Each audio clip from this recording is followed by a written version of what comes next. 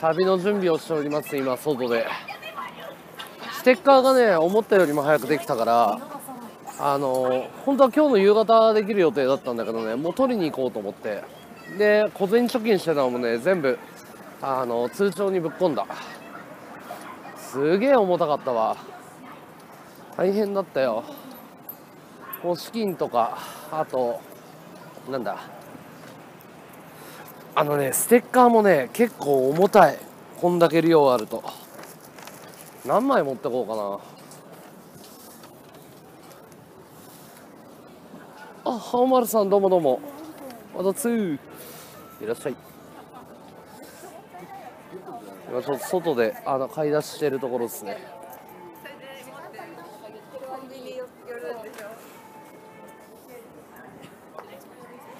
でユニクロでパンツ3枚と靴下3枚買った。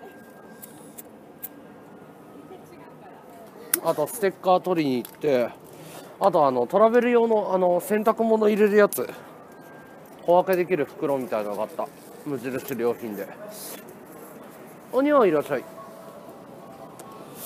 あと何必要かな。バッグ。うん。はいふみちゃんいらっしゃい。うん。どうしようかな。なバックパッカーみたいなバッグやっぱみんな持ってるんだけどあれ必要なのかな。配信ずっとやってるよ俺、うん、配信ずっとやってるよ。久しぶりじゃないよ全然。毎日やってるよ。バックパッカー用のバッグどうしようかな。経験がないから分かんないねやっぱり。ヒカルくんとかすっげえでっかいの持ってるもんね。ステッカーも結構重たいよ。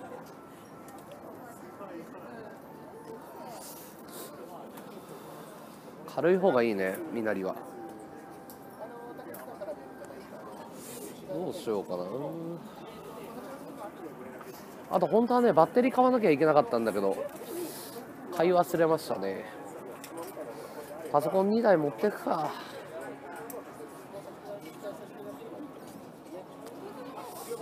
パソコン2台持ってきます。いよいよ今日からね今日の夜から食べ配信だからね。いよいよですよ。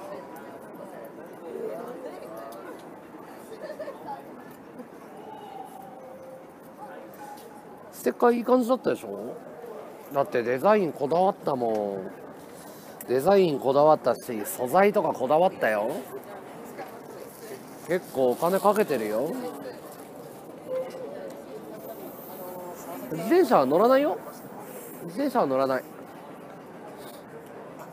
自転車は荷物になるからなるべく身軽に行きたいから。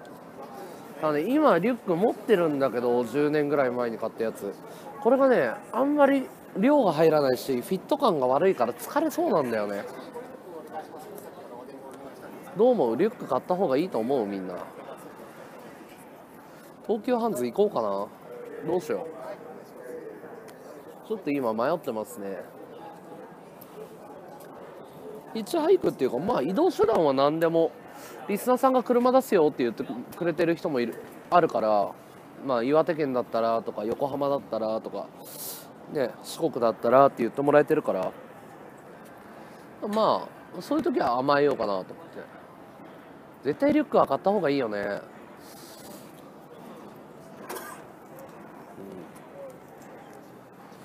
でっかいやつ買った方がいいよね絶対。長くなるし。むしろ一番必需品じゃ必需品だもんね。あとねパンツと靴下買ったんだけど服装どういう服装なのかもやっぱあれだね前もって準備しておくべきだったね。今日の今日で準備してるからどどんな格好で行こうかなと思って。そう見に行くか。東急ハンズの方行こう。今タバコ吸ってんだけどアルタ前で。見に行くか。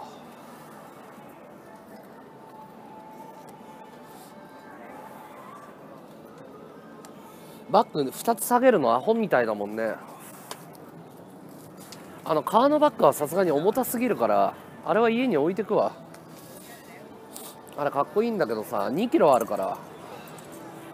やっぱ新宿今街中見てるとさバックパッカーみんないるけどちゃんとリュックそ背負ってるもんね。ちょっと登山用品の店行きます。ステッカーが重たい重たい。何枚ぐらい持ってけばいいかなステッカー、まあ、1ヶ月半だから300枚ぐらいでいいか300枚300枚。余裕持って500枚持ってくか。ステッカーがこんなにかさむとは思わなかったよ。あのねなんて言えばいいんだろう。羊羹よりもでかいよ。羊羹なんだろう。ロールケーキよりもでかいか。だからロールケーキぐらいの紙の束ですよ。ちょうどロールケーキより一回りでかいぐらいの。結構でかいね。こんなにステッカーさばけるか。そうだね。あの5月21日に誕生日オフ会やるために東京に戻ってくるから一旦。あとセゴの企画もあるから。おいサボちゃんはどつサボサボサボサボちゃん。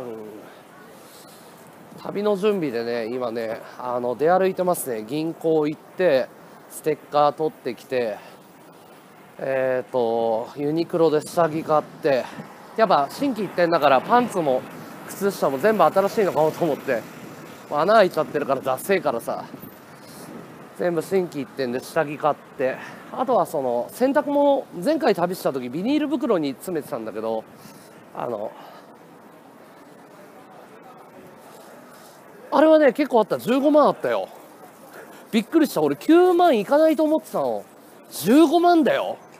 すげえと思ったもん。もうあの今年入ったからポケットにある小銭を全部詰め込んでたのよ。もう小銭作ってはあのリステリにやばくない？15万。俺びっくりしたよ。6万ぐらいだと思ってたの。そしたら「結構ありますね」って言って銀行の人も驚いてたよ。そう。すごいよね。俺びっくりしたよ。多分ね500円玉だったら150万ぐらいいってる。いやそうなんだよのんたん勝手に映してたんだよ「おはよう」のんたんが勝手になんか「何やってんの?」っつったらなんか「のんちゃん寂しいからワドさんの寝てる姿を映してるの?」とか言って「え何？何?」っつって「何やってんの?」っつったら「のんたん一人ぼっちになっちゃうからワドさんのタイムシフト残してそしたら隣にずっといられるから」って言ってずっと映してたらしいよ笑うよね笑うよね。いやそれ自分の携帯でやれよって思ったもん。なんで自分の携帯の録画でやんないで放送勝手にやってんだよな。なんで俺の携帯勝手に持って勝手に放送やってんだこいつと思って。しかもなかなか結構長時間やってたからね。かそらせるなや俺の枠を。俺の枠カッソカソだったからね。アクティブ7とかだった。びっくりしたよ。うん。まあ発想が可愛いよね子供みたいで。可愛い彼女だなって。モンタは一人ぼっちになるのが寂しいからね、まあ、あの手この手でね俺の録画を残そうとしてる。のんたん外出ようよって言ったんだけどねめんどくさいって、ま、のんたんは寝るって言って。のんたんずっと寝てるからな。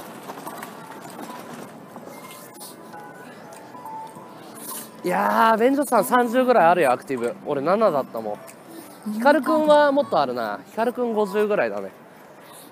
まあまあ、俺なんてね、中堅ですから。まだまだっすよ。いや、今日朝、うなちゃんマンの顔出し配信超面白かったよ。俺を見習えって言われちゃったもん。おい、ワードっつって。おい、こういうところ見習えよっつって。はいっつって。顔出したんだよ。前枠でなんかリスナー煽って「おいかけてこいよこの野郎!」とか言って。その後急にいきなり顔出しパッと始めて「これがうなだよ」とか言って「なさの最高だろ」とか言って。あ寝袋とかも売ってるな。まず今日顔出し復活だよ。見た？うん。部長かわいいよね。うわテントに3000円で売ってる。えこのテント3000円なの？テントはいらねえかさすがに。さすがにテントはやりすぎだよな。テント3000でかいな。重たそう。テントはやめよう。寝袋はちょっと見たいな。あバッグ売ってる売ってる。バックパッカー用の。来た来た。あでも結構すんな。1万とか平気でするね。高いな。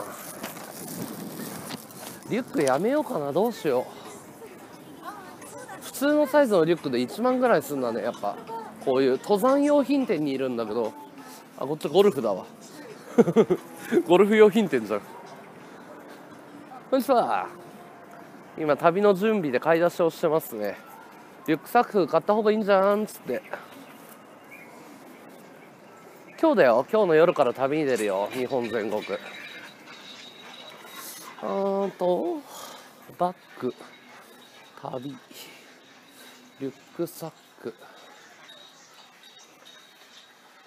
どうしようかな。他になんかリュックってあるかな。トラベルバッグだから2階だね。2階。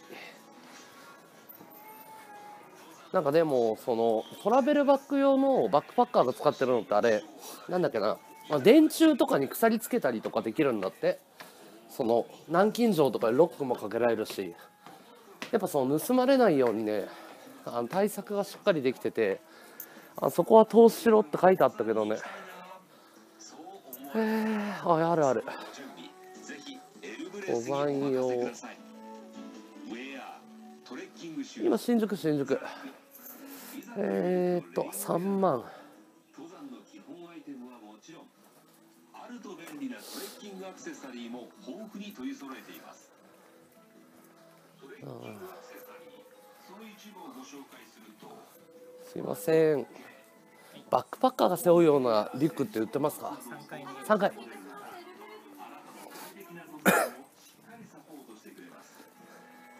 ンパスや GPS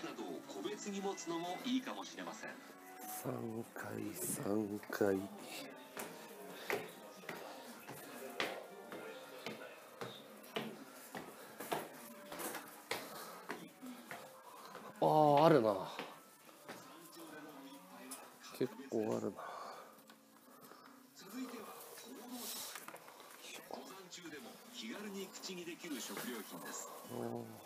登山中に空腹になり山を登るエネルギーが不足してしまうシャリバテ。これを防ぐためにザックの中に入れておくと安心です。エルブレスではそんな行動食も種類豊富にラインナップしていますさらにアミノ酸やミネラルエネルギーを手軽に補給できるサもう夜の8時っていうかまああんまり考えてないんだよね。出たくなったら出ようかなって。今日の夜中の12時までに出ればいいと思ってるから。まあなるべくのんちゃんと過ごしてあげたいなとは思ってるから、うん、すげえな。ジョ食器タイプとかもあるんだ。すげえすげえ。いろんなのあるわ。はあすげえわ。どれくらいの大きさかだよな。いいわどうぞどうしよっかな。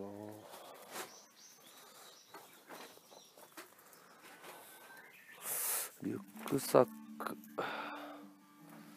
ヒカルくんのを参考にしようヒカルくんの大きさをいや今日来る？今日来るんだったら新宿かな？夜8時ぐらい新宿夜9時ぐらい新宿？やっぱ初日に盛り上げてくれんの？優しい。さすが。さすが。元ナンバーワン囲い。元ナンバーワンガチ囲い。どうしようかな。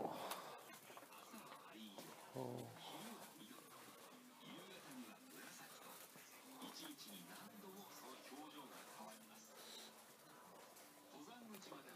すいません。なんか上にかかってるやつの値段が知りたいんですけれども。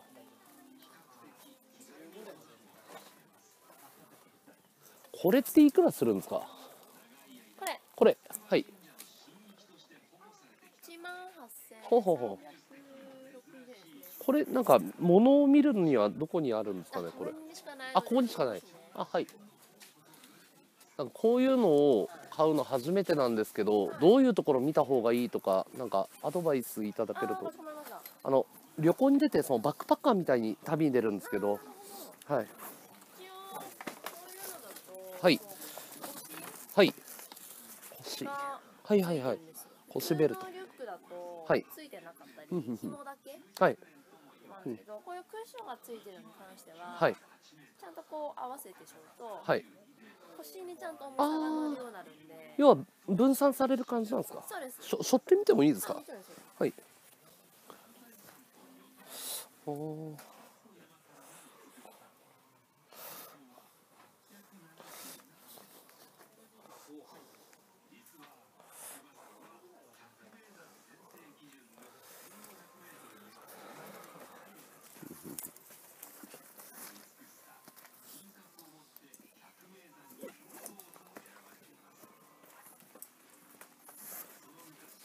すいません。は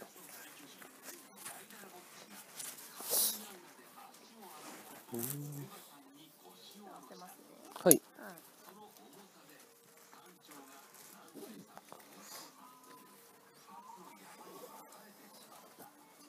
でこれは、はい。この骨？この骨はいはいはい。ああこんなに結構しっかりはい、はい。でここを基準にしてはい。余ったのをああすごい。こう引くとちょっと分散される。すごいですね。はい。あ全然すごい。はい。ははい。あすごい。こんなに違うんだ。はい。はい。はい。楽ですねこれは。えー、すごい。結構荷物がはい。多くて重い時とか、はいはい。やっぱどうしてもここが痛くなりやすいんで、腰で支えてはい。あげるとああなるほど。担ぎやすくなるのでここがその、はい。クッションついてるやつとはい。ついてないやつが違う。あー。なんかどこのメーカーがいいとかなんかどういうのとかってあるんですか？これデザインかっこいいなと思ってそれ見たいなと思って。てはい。使いやすいですし、はい。人気なのだとやっぱカリマとか。カリマどういう？あーこれがカリマっていう。はい。結構クッションがはいしっかりしてて、ふんふんふんふんサイズ感も選べるので、はい。よりその体にフィットしやすい、ちょっと背負ってみてもいいですか？はい。え。ー、これは定番っていうかもう人気の。おー。リバウンデるぐらいのあそんなに。カリカリマですか？はい。ここの骨ですよ。ねはいあのはい。骨盤とはまた別で。はい。はい。この骨。はいはい。おへその真横ぐらいのうん。骨なんですけど、はい。おこれカラーってどれくらいあるんですか？この。は結構種類があって5種類ぐらい。5種類くらい。うん。おー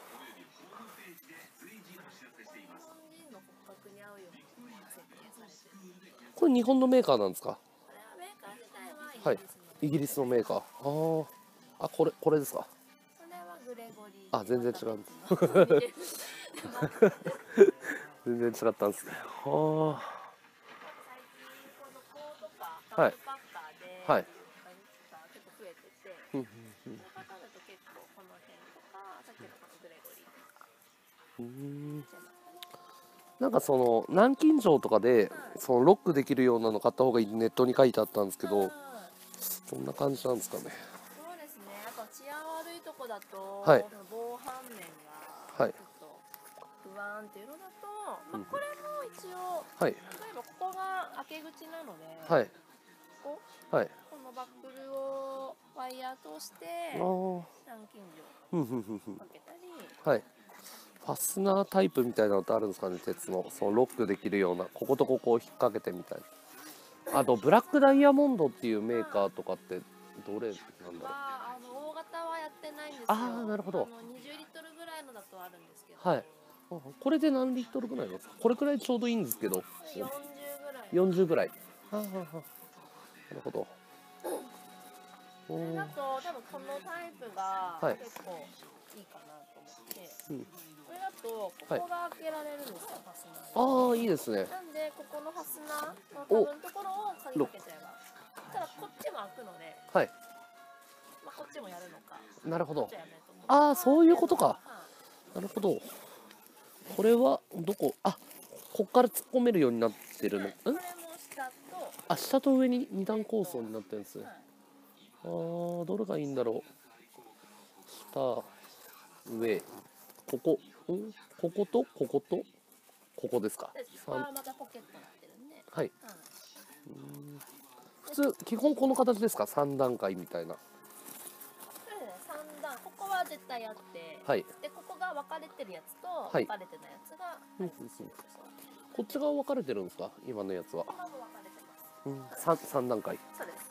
えー、まあ、は2段階で、はい。ちょっとサブのポケットっていうあサブポケット。はいほうほうほうほう。出しやすいこれの色ってどんな色がありあるんですか？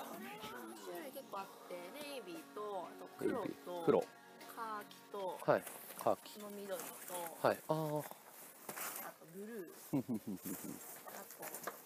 あとあ赤とかでこれで赤とかってないですかね？赤はあんまない、うん。黒か赤がいいなと思ってはい。大きさはどれこれぐらい？あ40で大丈夫です。うないない。例えばこれとか。これとか、うん、あとはロース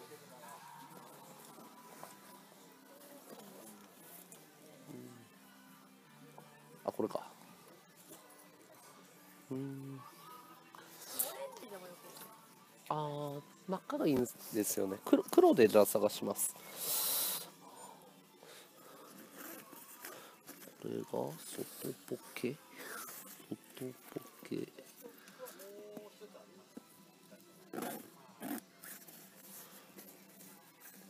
ポリスワース。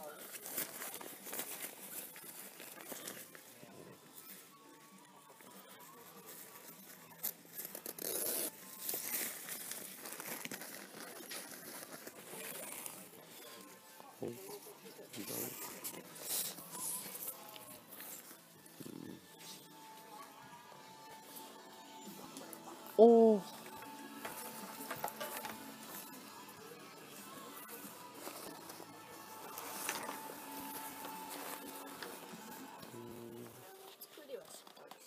うん。はい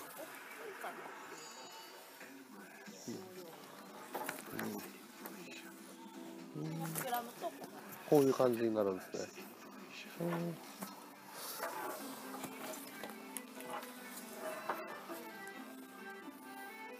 ブラックダイヤモンドはないですか、うん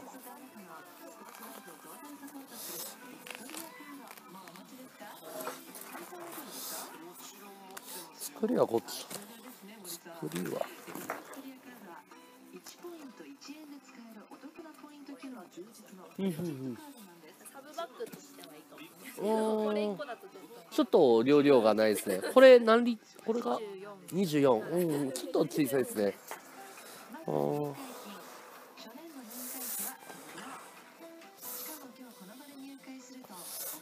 カリマってどうかなみんな。カ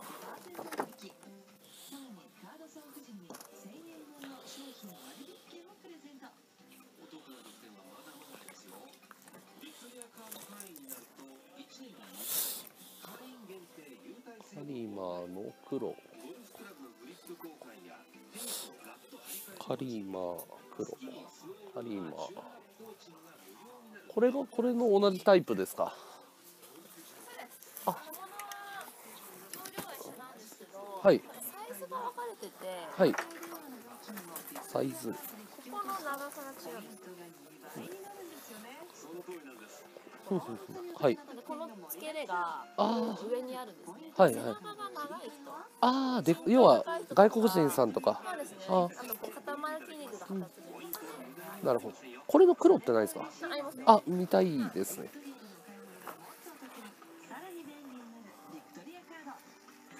投資するわ。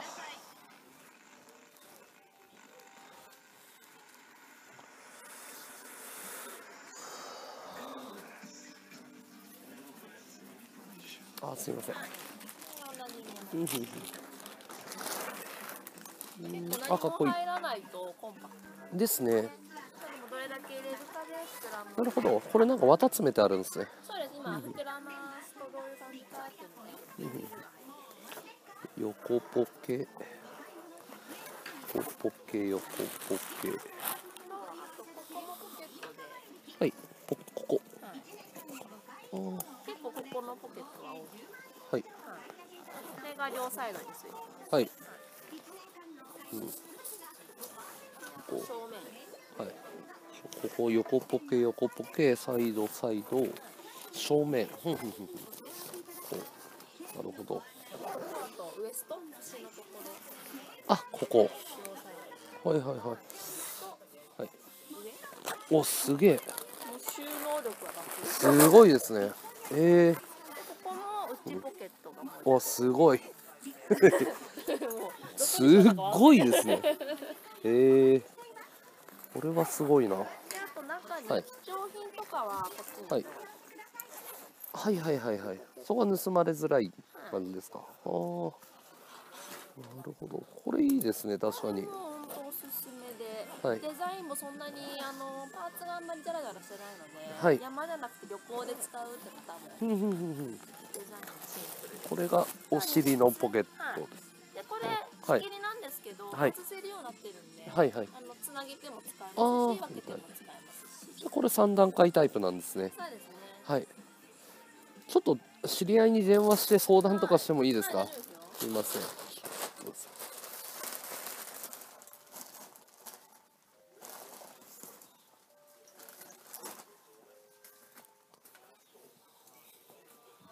もしもし？もしもし？オスプレイ？オスプレイ？あオスプレイ聞いてみる。うん分かった。ありがとう。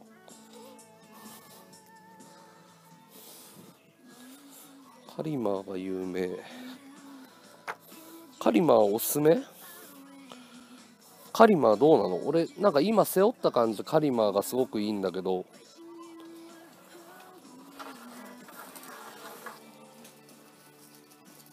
オスプレイオスプレイも有名？カリマオスプレイっていうやつも有名なんですか？有名ですね。山やって山から有名。あこれがオスプレイ。あかっこいい。ちょっと見てもいいですか？オスプレイ。あ。ーオスプレ。イちょっと僕カリマーが今欲しいなと思ってるんですけど。はい。これ38入るやつであとは48と2つあるんです48とえーと38あいやこれくらいのサイズが。あこれもおすすめこれは機能的にはどうなんですか？そのなんか収納とか。収納力もはい。結構ありますよね、こっちの方が。カリマーと比べると、はい。ポケットの数とかだと全然向こうじゃあカリマサイドがないんですよ。ーなあここはあるんですけど。ーふんふんふん。これこれは違うんですか？あこういう感じになっちゃうんですね。なんかペットボトルとか入れる感じ。全然こっちの方がじゃあ多機能なんですね。圧倒的に。はい。ここのポケットはないんですけど、はい。ここが開いてはあのああるんですよなるほど。取り出しはしやすいです。ここっちの方がなんかグッときました。あー。カリマンシュうんうんうんうん。なるほど。はいカリマーでどうかな？カリマーでいいと思う？俺全然わかんないんだけど。カリマーで OK かな？もしもし聞いてる？聞こえる？うん。カリマーでどう？みんな。うん。あ全然いい。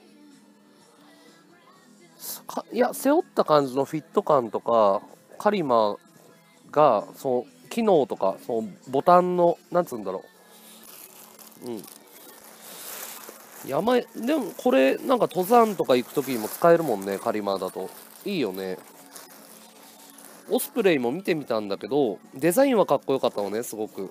その質感っていうか肌感っていうか。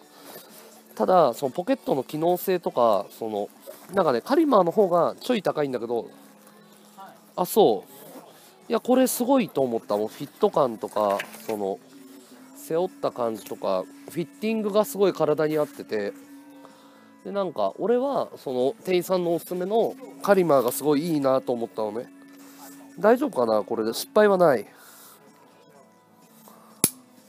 失敗絶対ない。間違いない。あすいません。ありがとうございます。じゃあカリマーにするわ俺。ありがとう。一旦切るよ。オッケー分かった。ありがとう。カリマーにするわ。一旦切るよ。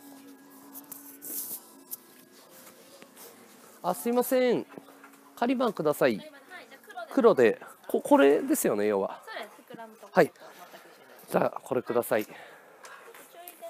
はい注意点メインカバーがついてるんですよ。メインカバー。カはいはい。雨降った時にはい。カバン濡れて中濡れちゃうんで、はい。カバンをかけてもらえれば。わかりました。はい。ありがとうございます。チェストベルト。チェストベルト。はい。さっき背負った時に背負い方、はい。まず腰をはい。骨のとこで合わせて、はい。ショルダーやって、はい。ってですかはい。であとこうスタビライザー。ここをちょっと引いてもらって。ここを引く。うんとこれをつけて合わせて引いてここで。はい。で背負って。はい、この紐を。こっち下を先にやるんですか？そうです。ねはい。はい。すいません。ここだけやっとけば。全部外して。はい位置合わせないといけないですよチェストこでこここも一回緩めて、あはここもはい。ここも緩めて。い、でも締めるだけにしてもらって。はい。でまずはいここ。をここを止める。いて。はい。で腰のとこで、ここで。ここですね。はい、骨のところで。止めてはい。結構きつめにした方がいいですか？そうですね。上がっちゃうんで、はい。きつめのですね。はい。でこの紐を。下の紐。はい。後ろにここ引きすぎちゃうと、はい。腰上がっちゃうんであ上がらない程度で上がらない。これどどうですか？上がっはい。どれくらいがその適正なのかわかんないので。ちょうどベルトとかあのはい。普通にねこの辺？あこの辺でいいですね。はい。ちょっと下か。これくらいで。はい。で上を引くんですかはで、はい鏡見てもらった方がはいこのままだと、はい。こう背中から離れたりして、はい。ガタガタしちゃうんではい。これを引くとそそれどこにあるんですか？ん どこだ？あこれ。はい。これ引くとカバンが背中にはい。安定するんですよ。どれだろう？あこれ。はいすいません。最初は鏡見ながらの方が場所がわからないので、あすごい。これで？慣れてくると位置わかるんで、はい。どうやってもできるんで。はい。で最後に、はい。このチェストベルト。最後にこれ4段階。そうです。4つ合わせればこれが溝あるんですよここに。溝。はい。これをこのレールにレール。こはい。おおうん。で長さで取るときは、とこう。はい、ここをはい引っ張ると取れるんで、あこんな簡単に。あ高ーさを調節するときに、はい。今みたいにはい。またはめるっていう感じ、すげえ滝の。そうです。こっちも同じ感じで外れるんで。はい。そこだけここのやり方だけ他と違うので。はい。こっちも引っ張るとこれをあこれで。うーん。すごいなこれ。あじゃあこれください。はい。はい。わかりました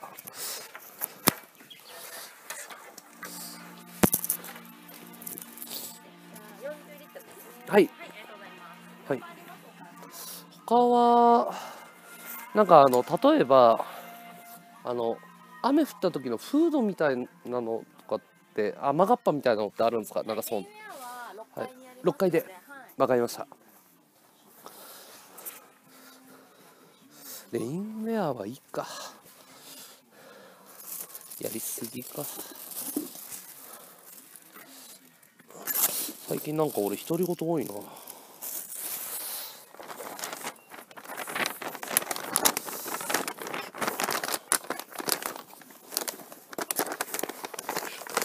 なんだろうな。なんで独り言多いんだろ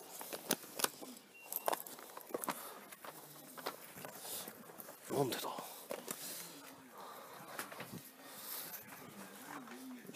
はい。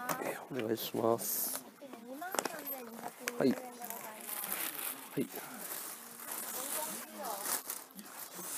えーっと。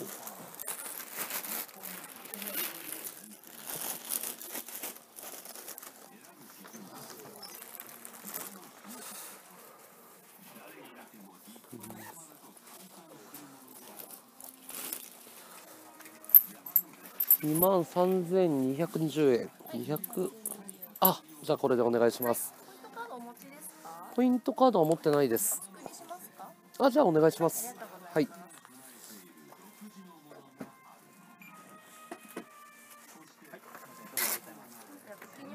はい。はい。えーっと、メールアドレス。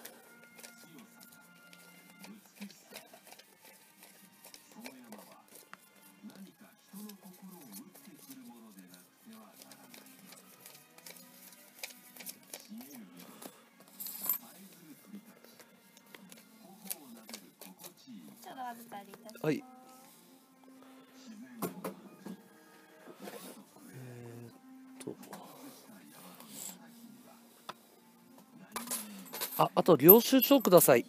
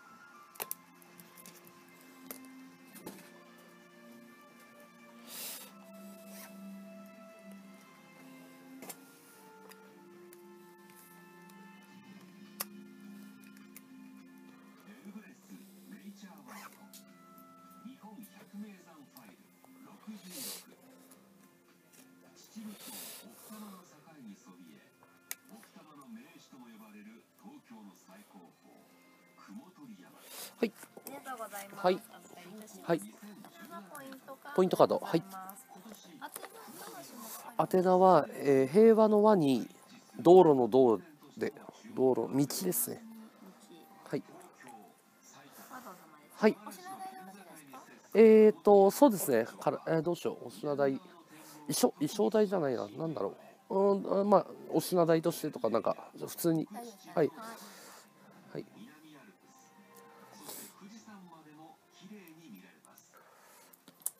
はい。ありがとうございます。ポイント645円はいになりますので、次の買い物からご利用あいただけます。はい。わかりました。これあ大丈夫です。領収書いただいたんでせ破棄しちゃってはいはいご説明したはいリュックの背負い方の案内を入れてきますね。今タオルつくので。あありがとうございます。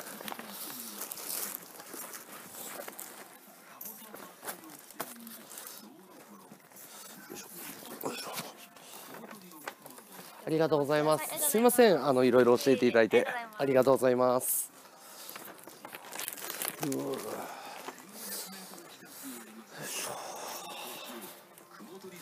いやーいい買い物しちゃったけど結構いいやつ買っちゃったな。これあれでしょあの最高級ブランドでしょ多分。山好きの。超すげえ。こんなに違うんだねリュック一つで。いやーまあでも許してくれるでしょ。えーとねカリマーの40リッターのやつだね。俺が買ったのは。カリマーの40リッタータイプだね。すごいかっこいいやつだったよ。フィッティングが良くてポケットとかがすごい。なんつうんだろう。あの収納もすごく多機能で。これが一番いいなっていう感覚だった。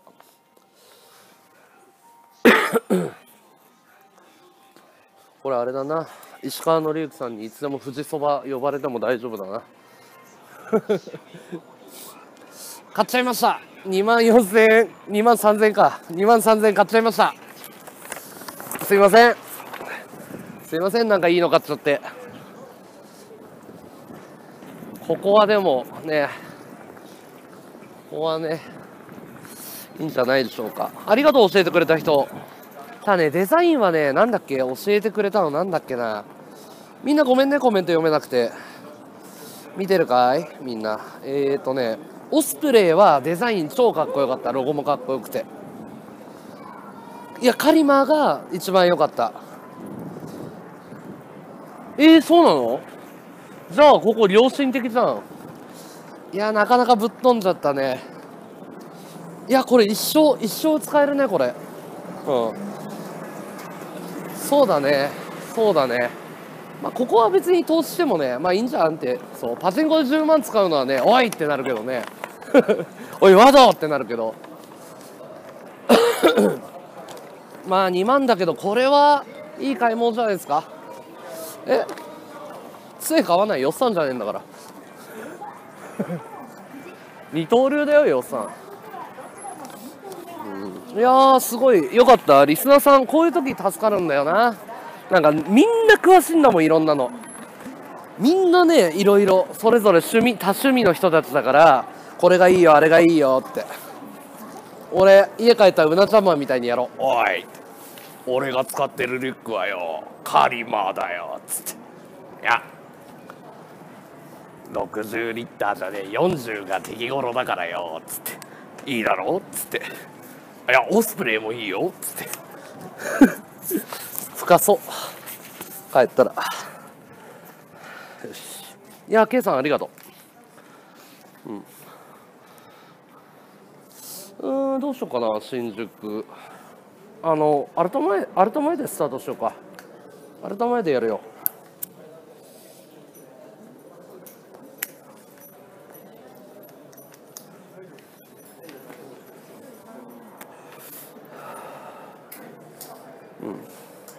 いやもっと似てるよ家でやったら。今日は外だから声抑えめだからね。よし。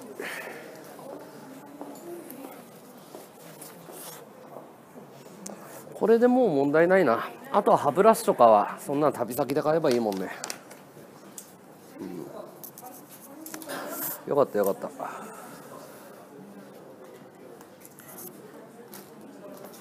いやかっこよかった。デザインは正直オスプレイの方がロゴマークもかっこよかったんだけど結構俺機能が機能派なのね。あの何かを買う時って、うん、カリマーが一番良かった。反った感覚。そのなんだろう。その耐久性？質感っていうのかな。布の。でやっぱ店員さんもカリマーが一番そうおすすめっすねって言ってて、イギリスのメーカーなんだね。すごいね。こんなに軽くなるんだね。反ってる感覚しなかったもん。びっくりした。カメラ？カメラって何？何の話？カメラを買うかどうかってこと？支援してください。花火お願いします。一眼レフ買いたいです。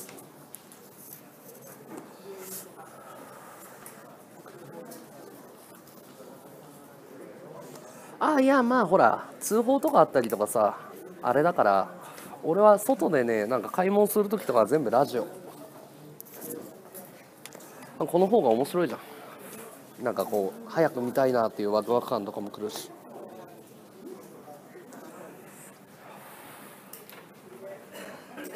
でもね今のうん。そうそうそうそうそう。本ちゃんの放送だとちゃんと回すからね映像は。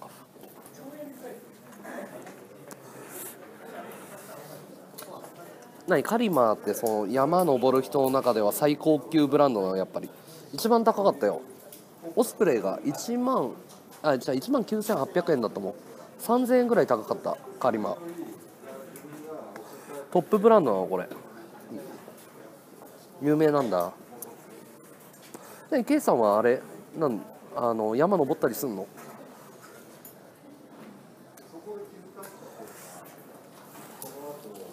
やっぱ理にかなってるね。あの登山とかほらあすいません。荷物とか多いから。あのね移動が大変だもんね。よし。これで道具は全部揃った。あそうなんだ。山登り配信とかもいいかもね。山登ったことない。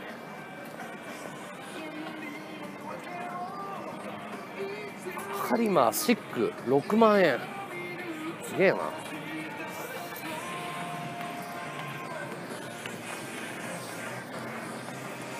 いやいい買い物しましたよ。ありがと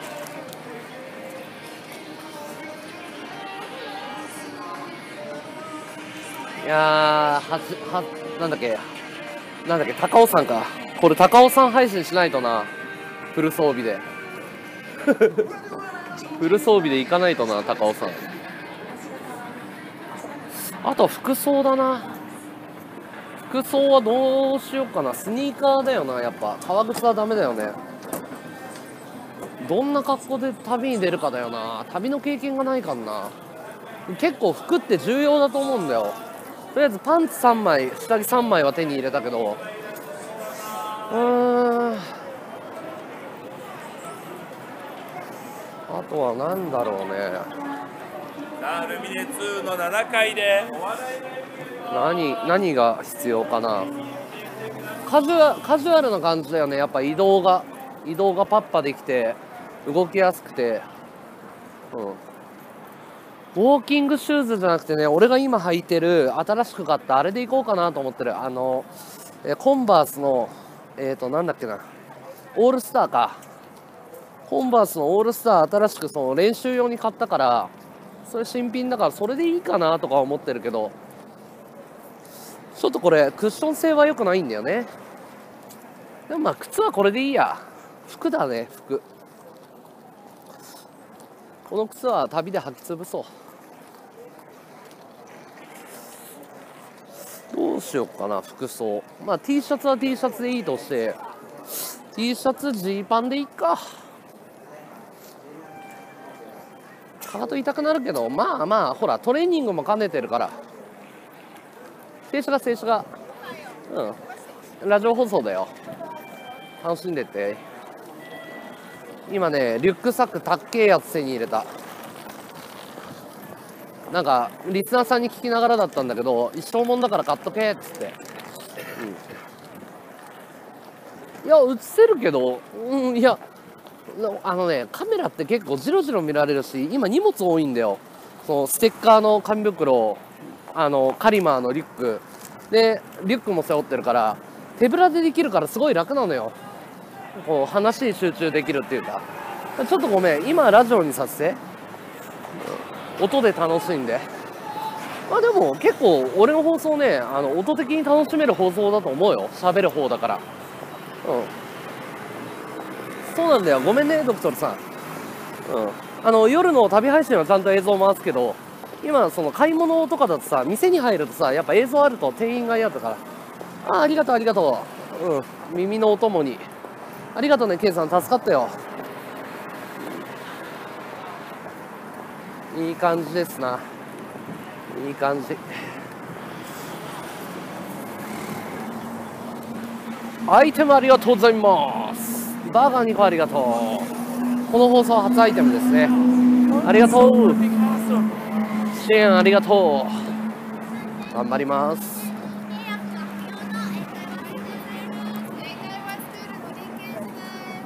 え、なになに？ああ、見てたよ、ずっと。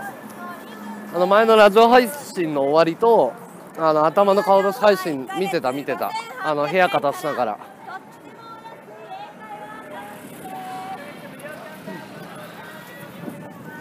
いやー、いい買い物しちゃったな、おい。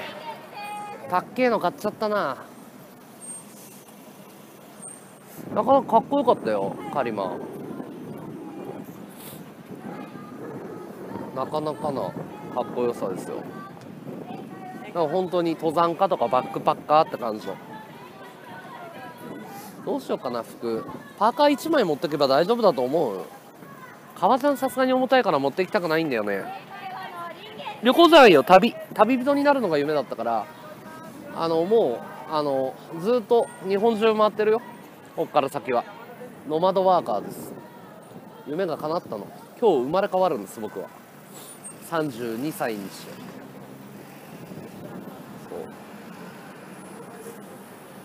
う。砂付近みたいな。あれハーモニカ買わないとダメじゃない？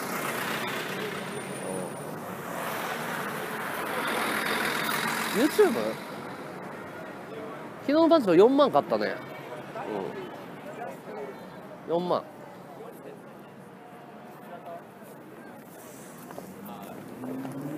あブルゾン必要なんだ。でもね北海道行くか行かないかぐらいだと思うんだよね。どうしようかな。T シャツだけだと寒いかな。まあ上に登っていって服は買っていけばいいもんな。そんな大した問題じゃないか。そうだよね。服買っていけばいいんだもんね。あとは気合と根性だな。気合と根性だ。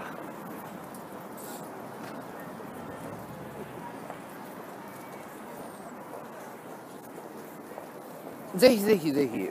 もし車出してくれたら案内して車持ってたりとかしたら。旅は道連れ理論であの全然あの23日くっつくのもありだから、まあ、サクッとリア突でね終わりでもいいけど。もし暇だったら案内してよ。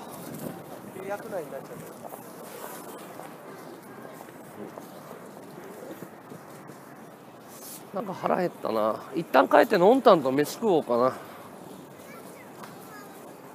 帰るか。のんたんでも外出たからねえかんな。困ったんだよね。うん。そうだね。朝朝すき家食ってたんだけど腹減ったね。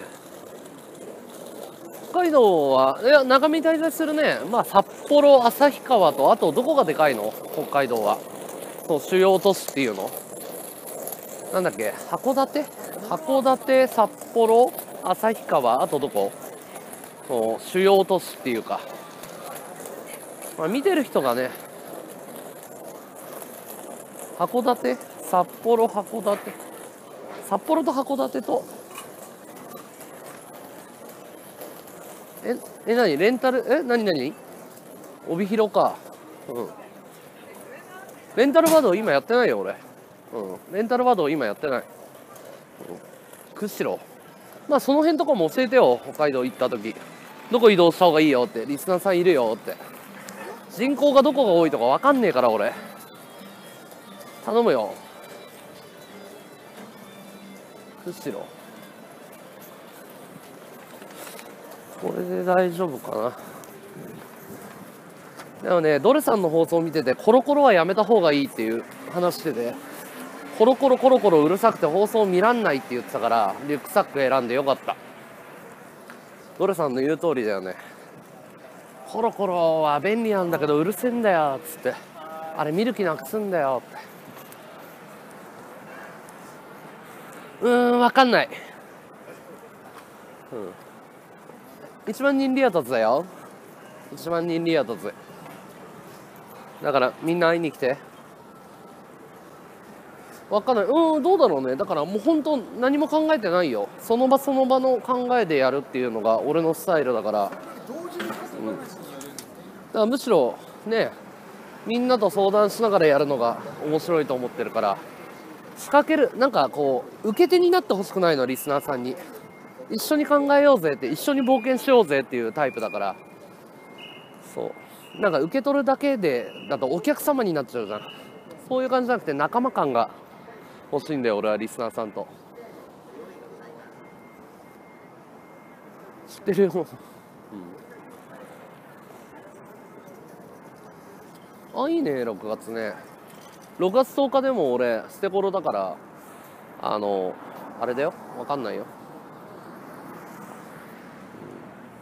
まあ旅だからね。楽しもうよ。旅行じゃなくて旅だから。冒険だから。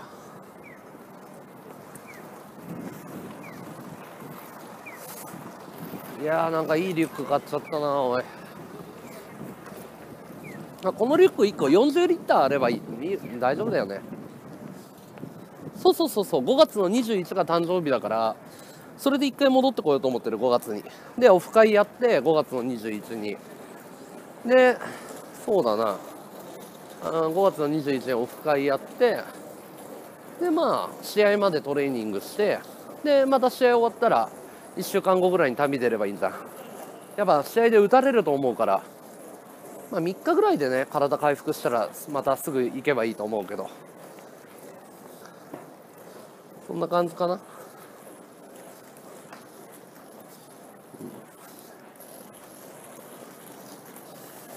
し。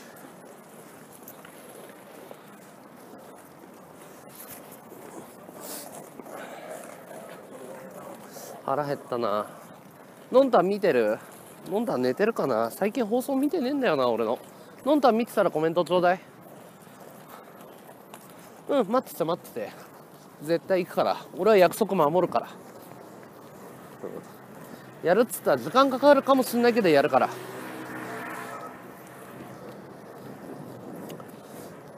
ああじゃあ行きたいな。マジで？おごってよ。おごって、うん、貧乏旅だからさあの飯はおごってもいただけるとありがたい。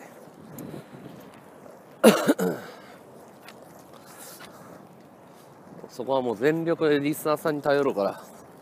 移動手段宿泊先。マジで？最高だね圭介さん。頼むぜ。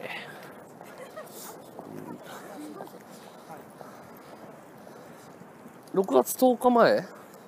え練習？うん全然やるやるやる。うん。6月10日試合だから。だから縄跳びとバンテージだけは持ってこうかなと思って。バンテージもいらねえかな。お守りでバンテージは持ってこうかな。荷物かさむか。いいか。バンテージぐらい持ってこうよ。マウスピースバンテージ縄跳びの3つぐらいはね。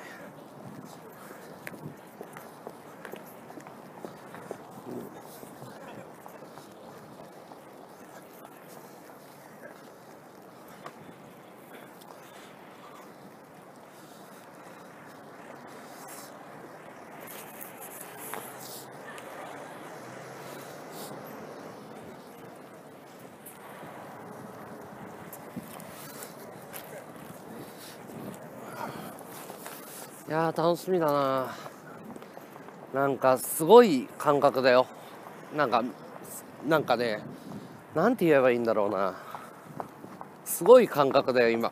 子供の頃からの夢が叶うっていう、うん、そのそれはその何かねなんかそのなんて言えばいいんだろうな。夢が叶うだけどそれはそのどこに行くとかさ一瞬で達成されるものじゃなくてライフスタイルが叶うっていうことだからこれから始まるわけじゃん冒険が。すごい楽しみだよ。うん。聞きたいこと？何？どうした？鉄拳さん、うん、頑張りましょう。気合入れてこう。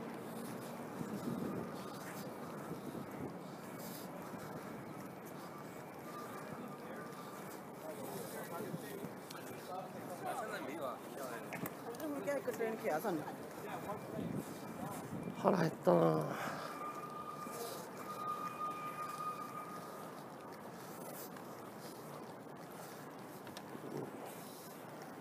お腹すいた。うーんとね石野は多分俺のこと嫌いなんだけど俺石野大好きだよ。うん。石野は多分俺のこと嫌いだと思う。あのもともと一緒に1ヶ月間ぐらい生活してたし12ヶ月。そう大好きな配信者なんだよ俺が。だから俺が石野のファンって言った方がいいかな。彼は俺のこと好きじゃないと思うよ。俺は石野のこと大好きだよ。あんな才能ある生主いないと思うよ。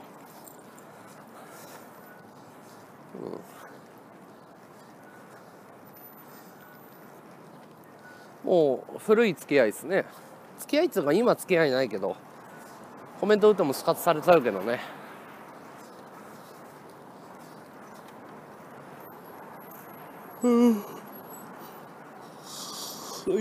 何年前だろう？一緒に生活してたんですよ。うん。だ俺のツイッター見てもらえたら石野とコラボした YouTube 見つけたからリンク貼ってあるよ。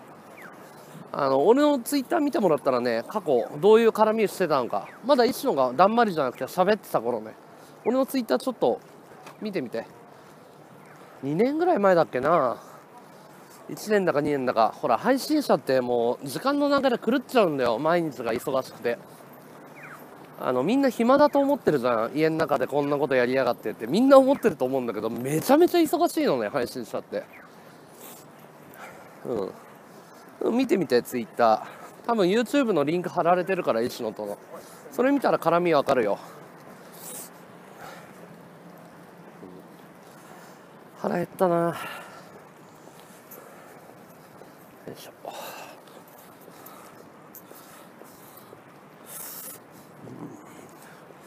結構昔だよね。懐かしいよね。海鮮居酒屋か。あそれ昔からだよ。うん彼のスタイルだから。で嫌われて FC2 で閲覧700とかだったんだよ。アクティブ同時閲覧700とかでみんなに死ねとか働けとか。まあ彼のやり方なんだよ。でもねあの FC2 で23年2年前か2年前ぐらいすごい稼いでたよ。1ヶ月 FC2 で1ヶ月30万とか2ヶ月30万とか忘れちゃったけど人気配信者だったんだよ FC2 では。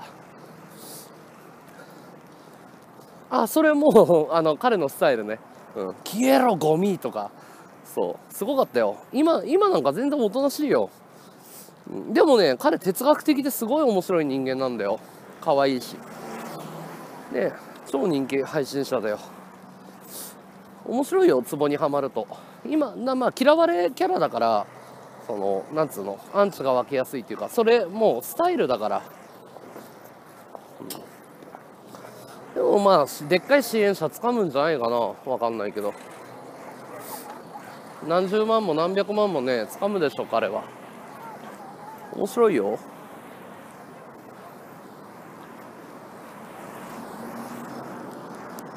いやリアルでも全然いいやつだよ。ただクズクズっていうかまああのね俺もいじり倒してたけど彼のことだからそれで嫌な思いさせちゃってるからあれだけど俺は好きだよ一緒のこと大好きだよ。本音だよこれは。本当に好きだよ。うんなんだろう若手でその若自分より年下でこいつやばい才能あると思ったのは2人だけで柏木と一緒だけだね。この2人は本気で生主やったらもう天下取ると思ってる。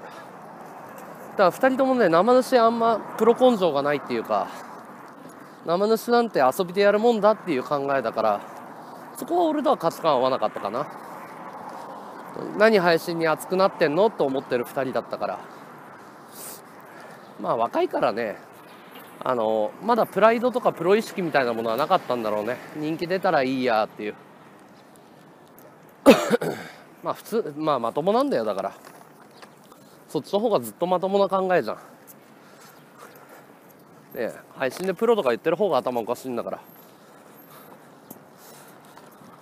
俺は石野の思想とか考え方はすごい面白いと思うよ、うん、音楽とかアートとかも好きだし、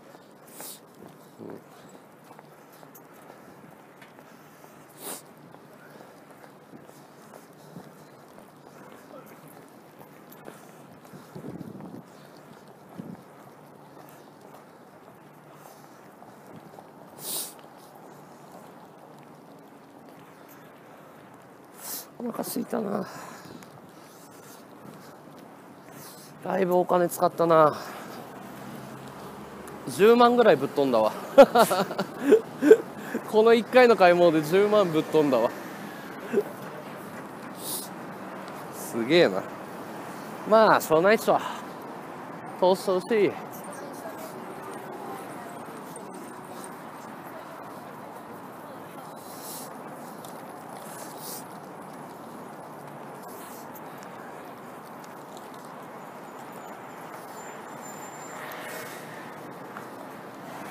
いやでもじゃなくて昔からそれ言ってんのよ。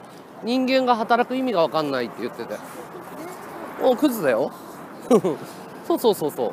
あのなんだろう。昔からそれで働く人間が働く意味が分かんないって言っててその小じでも俺はいいっていういうのは彼の主張だからずっと。むしろブレてないんだよ、うん、働いてた時期の話とかも知ってるけど俺は。で一緒に働こうって俺持ちかけたこともあるんだけど俺が仕事うまくいかなくて結局ダメになっちゃって、まあ、彼も嫌だって言ってそう。俺は石野となんかまた将来組みたいけどな何かしらの形で付き合いたいとは思ってるね。うん。まあいいんじゃない？その彼の人生だから。俺はその彼の思想を貫いてほしい。死ぬまで貫いてほしいと思って。でも根性あるよ。本当に働きたくなくてホームレス1年ぐらいやってたんだもん。本当にあれだよ。ホームレスやってたんだよ。本当に働きたくないから。その根性あると思うよ。俺すごいと思ったよ。俺もホームレスの経験3回ぐらいあるけど。なかなかだよ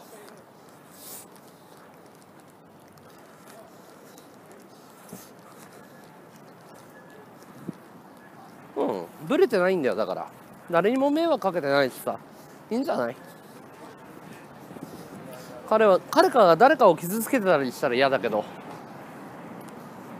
そうそうそうそう。有田さんのところね。あ石野のおかげで浅井さんとも出会いだし。俺にとっては大切な人だよ石野は、まあ、何かしてやれるわけじゃないけどさ。彼が配信戻ってきて本当に嬉しかったね。顔見れて。それが俺のまあ正直な気持ちですね。石野に関しては。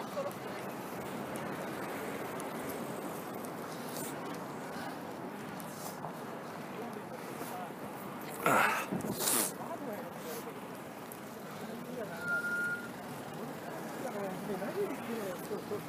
うん。まあまあでも嫌いっていう人がいっぱいいるっていうのは俺昔から知ってるから。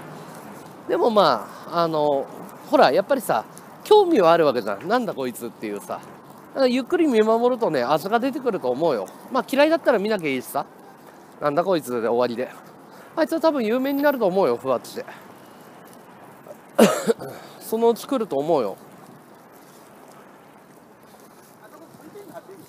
有名になるだろうね。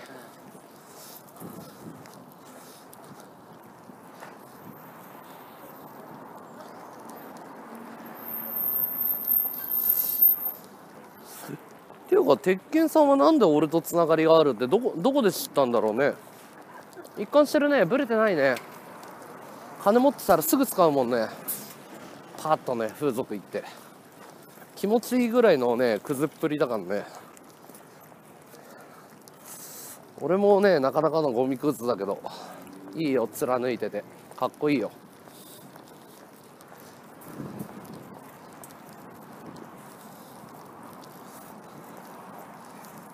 うんほら石野鉄拳さんが石野と俺つながってるっていうのどこで知ったんだろうと思って、うん、石野石野は俺の名前。違う違う違う。石野と俺がつながってると思ったから知り合いだと思ったから俺に質問したわけでしょ？鉄拳さんは。なんで俺が石野とつながってるの知ってんだろうと思ったのよ。だから石野は俺のこと話さないから絶対。どこでどこでそれを知ったのかなと思って鉄拳さんが。俺と石野のつながりよそれはちょっと気になったけどね。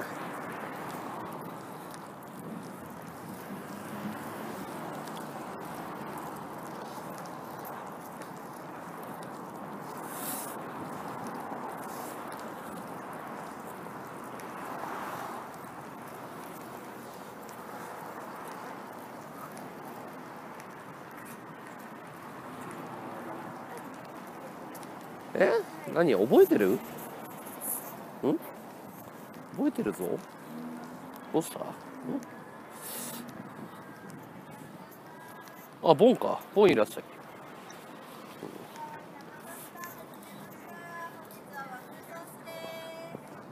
ああなるほど。それで俺と石の絡み見たんだ。なるほどなるほど。そういうことか。なるほどね。よしもうすぐ家だ。おおすごいね。閲覧78ラジオ放送で78はなかなかいい数字だね。ありがとうみんな。見に来てくれて。ありがとう。ごめんねラジオで。ラジオでも楽しめた？映像はないけど音声だけで楽しめたら嬉しいんですけど。どうだった？うん。一種は風俗行くの好きだからね。手こきが大好きなの。手こき大好きだから。うん？内閣府。